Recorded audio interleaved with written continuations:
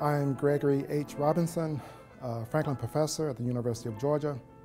I received the 2013 F. Albert Cotton Award in Synthetic Inorganic Chemistry. My research group specializes in synthesizing molecules that would, at first glance, appear uh, highly unlikely. We took some inspiration from Robert Kennedy in our chemistry. We think about molecules that have never been synthesized and we ask, why not? In some ways, we're just chemical detectives following the uh, trail of clues.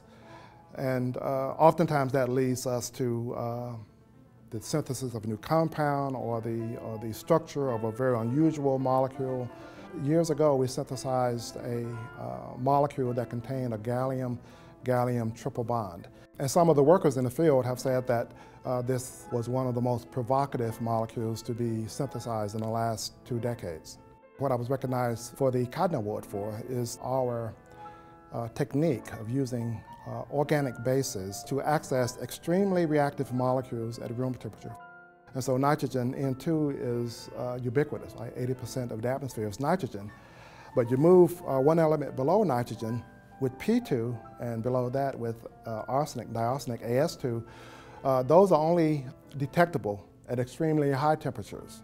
Typically, nature says, okay, this is extremely reactive and you, you got to go to really high temperatures to study it. So we found a method whereby we can use these organic bases to essentially uh, hold that P2 and AS2 in place so that we can study its behavior, its structure, and its chemistry uh, at room temperature.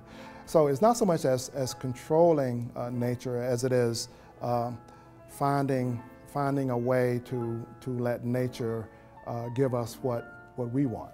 What excites me about uh, what we do is that chemists are the uh, singular scientists that prepare new matter in the universe.